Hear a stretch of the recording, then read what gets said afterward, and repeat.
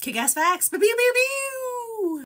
Led Zeppelin originally wanted to be called Lead Zeppelin, but they felt that, um, this is their words, not mine, thick Americans would pronounce it wrong. Turkey vultures use defensive vomit to get rid of any disturbing animal. They can propel their vomit up to 10 feet. Same. The cardboard holder that you often get around a takeaway cup of coffee is called a zarf, not to be confused with snarf. An oxymoron is a figure of speech that combines contradictory words with opposing meanings, like old news, deafening silence, or organized chaos. The word oxymoron in itself is an oxymoron. This is because it derives from the ancient Greek, where oxy means sharp and moros means stupid.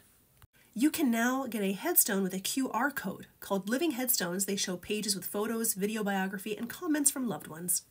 According to a national poll in ShopSmart, the average American woman owns seven pairs of jeans. However, Despite the fact that 85% of women typically wear jeans at least once per week, they only tend to wear four pairs on a regular basis. There were active volcanoes on the moon when dinosaurs were alive. Most of the volcanoes probably stopped erupting about a billion years ago, but NASA findings have suggested there may still be active lava flow from 100 million years ago when dinosaurs were still roaming. A psychiatrist who has been working on the relationship between body hair and intelligence for 22 years told the 8th Congress of the Association of European Psychiatrists that hairy chests are more likely to be found amongst doctors and the highly educated than in the general population. Why do I feel like one time in college a woman made fun of this guy's hairy shoulders and he was like, I'll fucking show you. His research amongst medical students in America found that 45% of male trainee doctors were very hairy compared with fewer than 10% of men generally. A study of 117 Mensa members, who had an IQ of over 140, were also found to have thick body hair. Some of the most intelligent men appeared to be those who had hair on their backs as well as on their chests. So take that, Brenda.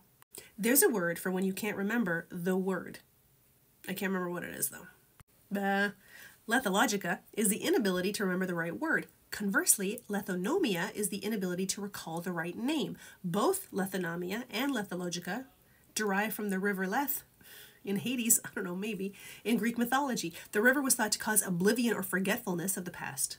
The burnt part of the candlewick is called the snaist.